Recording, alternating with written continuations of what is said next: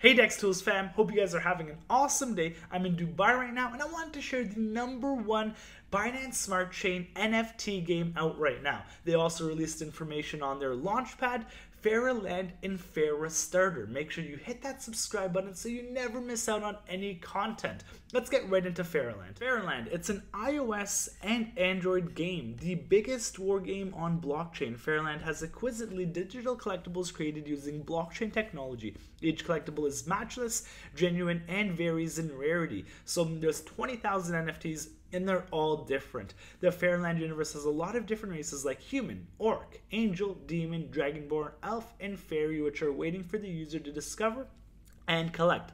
Last but not least, Faraland is also a multiplayer RPG NFT game that lets the user engage in the combat arena and profit from battles. So play to earn. I reached out in their Discord asking when the game would come out because I was in the App Store looking for it.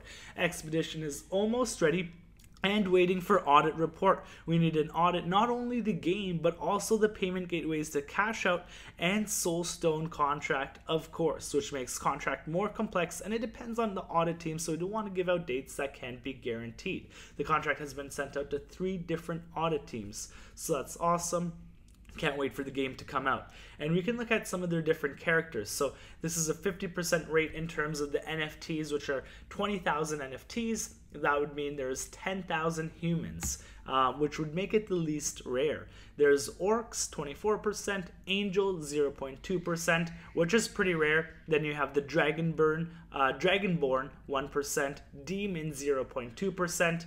You have the elf at 20%. So that comes right after the human. Elves and humans are not that rare. And then fairy. So you'd want to get uh, angel or a demon. Uh, those are the rarest NFTs. You, this is, like I said, they're aiming to be the biggest war game on the Binance Smart Chain network. And then here are some of the features. Ownership: Your heroes and your heroes and equipment are securely stored on the blockchain in the form of an NFT. Use the marketplace to find your best hero and trade rare equipment with other players. Also, this is floor price I thought was pretty cool. NFT heroes have a floor price pegged in BNB. It will be increased through trading and other game activities. And then the war game, of course. Preparing for the war by training your best heroes, equipping them with the best items, and learning powerful skills. And then we'll go over the roadmap and then some of the NFTs, how to buy them, uh, the items. We'll go over FaraStarter, which is just as big. I think it's going to do awesome. And then lastly, the price of Faraland. So, roadmap. Um, we are currently in De- not December, but Q4, so August to November 2021, Phase 4. Equipment enhancements, equipment marketplace, the DAO platform, which we'll take a peek at. Earn resources by deploying Hero to Expedition and then December 2021. So this is coming up real soon. Hero Arena, turn-based strategy combat, the game we're waiting for. Learn skill books, Android and iOS version. That'll be huge. Like Faraland has done so well, and the game's not even out. Imagine when the game slays and people are earning cryptocurrency uh, just to play their favorite game.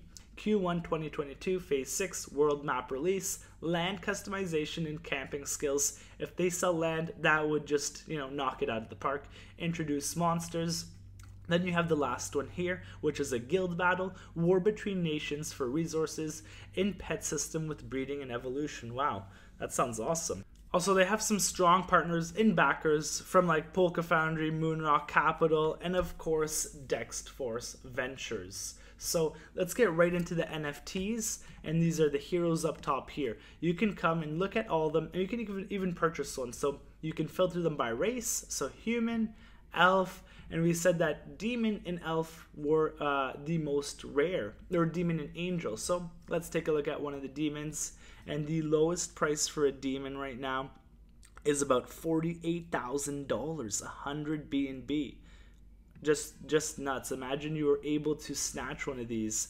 And then let's look at one uh, of the angels 43088 bnb which is still very impressive. You can come here and see some of the items uh, and some items are more rare than others and there you can equip those items for different races. So what i love about these you know play to earn um, and then you know earning a nft legendary weapon in other games they don't reward players. You can't really sell your legendary weapons but with you know games like this built on this binance smart uh, binance smart chain network you can actually sell your nfts you can sell your legendary weapons you can sell your heroes you can sell your items and you actually the player actually gets rewarded instead of these large gaming companies that are worth hundreds of millions to billions of dollars already.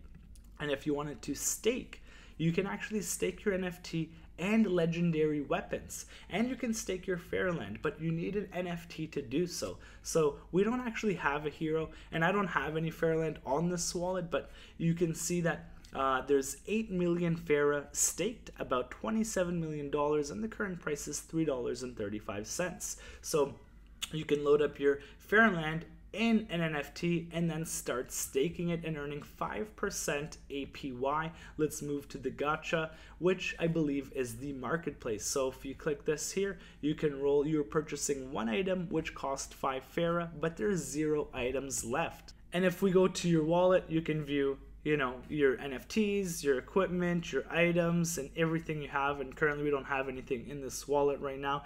And then we're going to move over to the five reasons why you need to buy Faraland's nft hero and we'll just go over them pretty quickly. So part one what is an NFT hero? A hero is a digital asset that can be traded in Faraland under the form of a secured ERC721 token.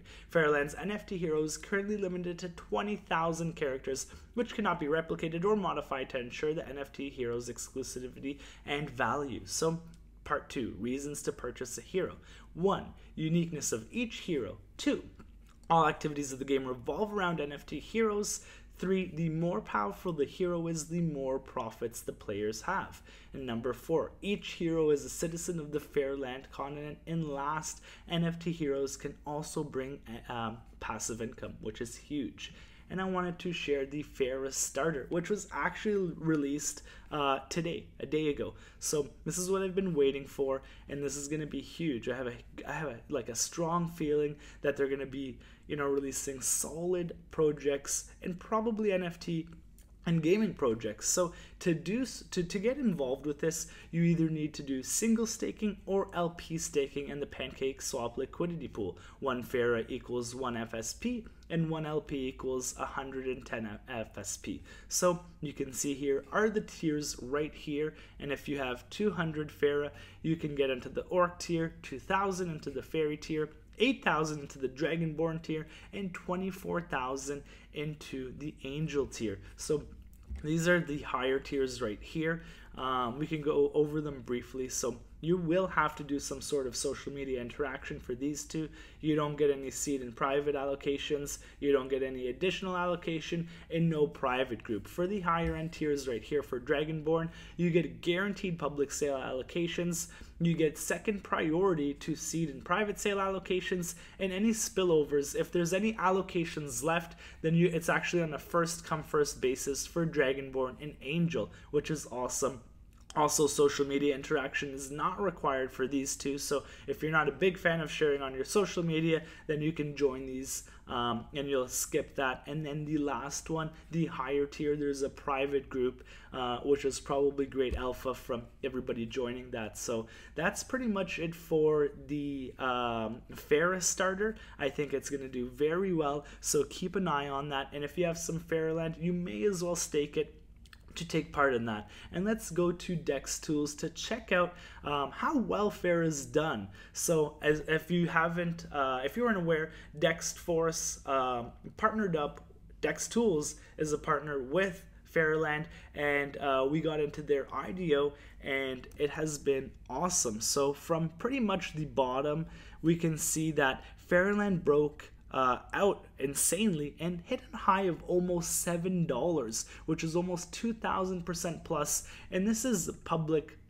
This is like initial price. I mean, public and IDO obviously got it at a better price, but uh, 2000% hitting $7 and then we're seeing some strong support at $2 and uh, $2.10 and $2.78 so it still has a lot of room to grow. And then you take into consideration that now FaraStarter has been introduced and now people are not forced but wanting to contribute to more projects and stake their Faraland um, to take part of FaraStarter. So I'm very bullish on Faraland and uh, everything they have to offer. Their game isn't even out. FaraStarter got launched today, so I'm hoping that we can see uh, all-time highs and actually break that to see uh, some price discovery mode. So I hope you guys enjoyed this video on Faraland. If you guys have any questions, leave them below, and I'd love to see you guys on the next DEXTools Academy episode.